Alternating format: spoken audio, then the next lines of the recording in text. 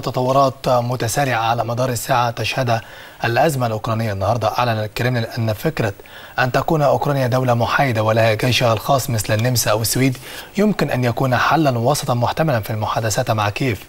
ونقلت وكالة الإعلام الروسية عن المتحدث باسم الكريملين ديمتري بيسكوف قوله في اليوم الحادي والعشرين فيما تصفه روسيا بعملية عسكرية خاصة في أوكرانيا.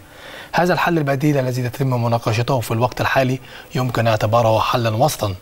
وأشار بيسكوف أن تصريحاته من قبل.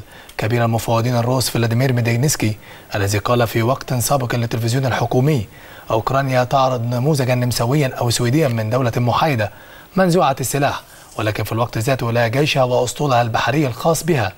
من جانبها أعلنت الرئاسة الأوكرانية أنها ترفض فكرة أن تكون كييف محايدة على غرار السويد أو النمسا مطالبة بضمانات أمنية مطلقة في وجه روسيا.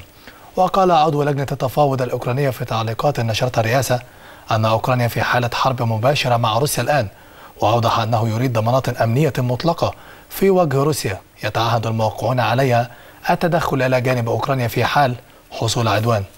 أعزائنا المشاهدين فاصل قصير وتفضلوا بالبقاء معنا.